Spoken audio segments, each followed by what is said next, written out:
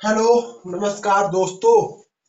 जय हिंद, जय भारत, वंदे मातरम। तो मैं आपके लिए लेकर आ गया वीडियो एसएसबी ट्रेड्समैन भर्ती 2020 की भर्ती है, पर मैं इसको थोड़ा 21 की बोल रहा हूँ, क्योंकि यार ज़्यादा 20 बोलने से ये लगेगा, यार दो दो साल भर्ती है, पुरानी हो गई है क्योंकि यार आपको पता रहे इसकी माना कि दो साल भर्ती पुरानी होगी, सौ परसेंट दो साल भर्ती पुरानी हो चुकी है भाई। अगस्त 2020 में फॉर्म भरे गए थे 2021 गया 2022 चल रहा है अभी।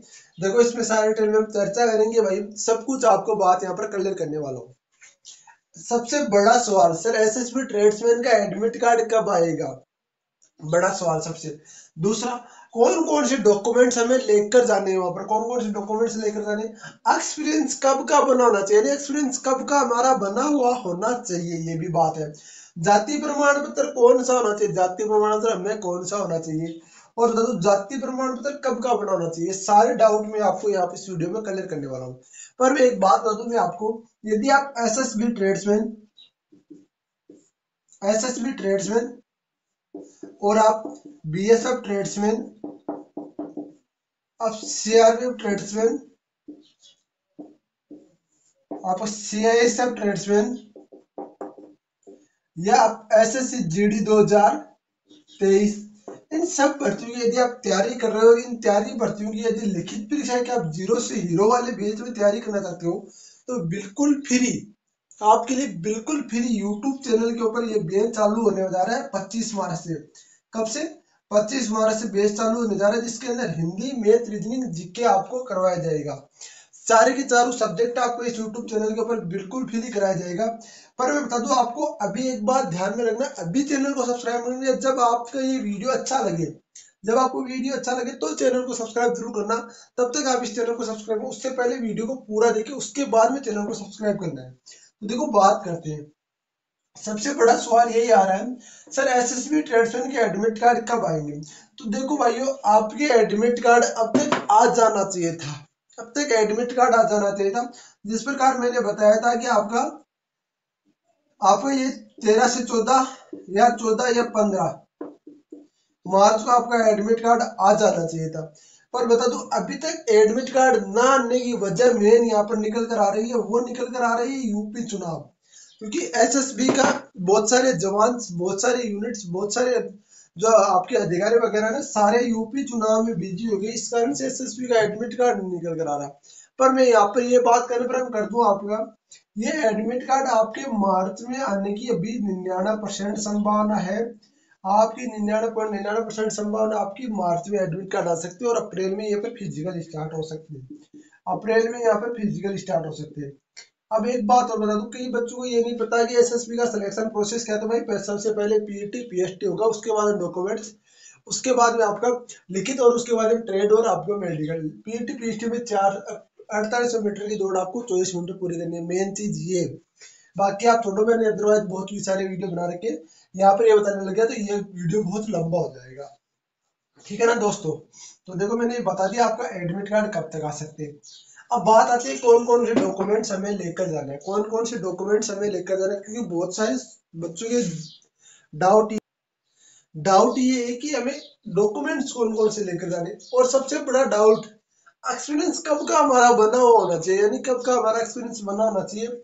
दूसरा जाति प्रमाण पत्र कौन सा होना चाहिए? और हमारे पास जाति प्रमाण कब का बना होना चाहिए? देखो, मैं सबसे पहले डॉक्यूमेंट्स की यहाँ पर चर्चा करता हूँ थोड़ी। टेंथ की आपके पास ओरिजिनल मार्कशीट होनी चाहिए। अब ये नहीं, कई बच्चों ने क्या किए कई बच्चे ऐसे होंगे, सर, ये भर्ती कब आई थी और कब मैं, हमने हमने फॉर्म तो लगा दिया था, पर आपकी ओरिजिनल मार्कशीट उस टाइम भी नहीं थी।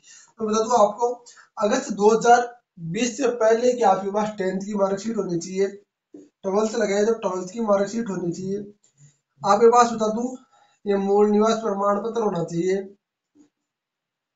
मूल निवास प्रमाण पत्र, ये तो डॉक्यूमेंट्स आपके ओरिजिनल तीन चीज़। तीन डॉक्यूमेंट्स आपके ओरिजिनल होने चाहिए। ये सारे बच्चों के पास डॉक्यूमेंट्स अब बात आती है एक्सपीरियंस कब का बनना होना चाहिए। तो मैं बता दू सिंपल सी बात बता रहा हूँ आपको। अगस्त 2020 से पहले का आपके पास एक्सपीरियंस होना चाहिए, वरना आप यहाँ पर रिजेक्ट हो सकते हो। क्या कारण है? मैं बता रहा हूँ, आपको ध्यान से सुनो। अगस्त 2020 रिजेक्ट होने का मेन कारण क्या? आपका फॉर्म भरा गया था, तब आपसे पूछा गया था भाई कि आपको ये एक्सपीरियंस है कि नहीं है?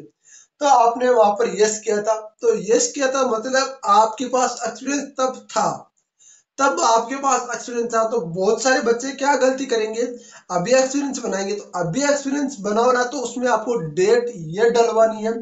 ध्यान रखो, अगस्त 2020 से पहले का आपके पास दो साल का एक्सपीरियंस होना चाहिए, तभी आप इसके अंदर एंट्री हो पाओगे, वरना यहाँ से गेट से रिजेक्ट कर दिया जाओगे, क्योंकि एसएसबी क्या करती है?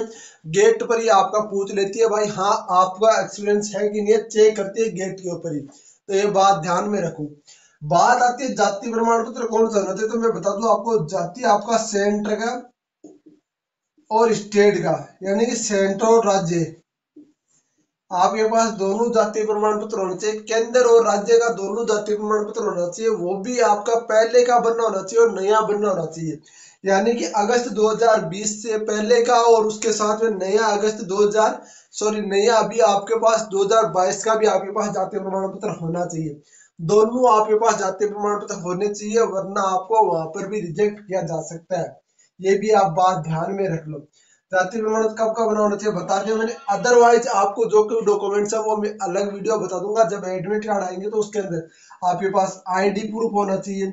दस फ़ोटो होने चाहिए भाई। बिल्कुल सिंपल सिंपल डॉक्यूमेंट्स आपको लेकर जाने। अदरवाइज़ कोई भी डॉक्यूमेंट्स होगा, आपका भाई आपके लिए तैयार है। तो हमेशा ये बता दूँगी आपको यदि आप YouTube चैनल पर पहली बार तो अभी चैनल को सब्सक्राइब कर लो, क्योंकि यह YouTube चैनल बिल्कुल आपको ऑथेंटिक जानकारी बिल्कुल सही जानकारी आपको उपलब्ध कराता है। प्लीज़ चैनल को सब्सक्राइब ज़रूर करेंगे। जय हिंद, जय भारत, वंदे मातरम।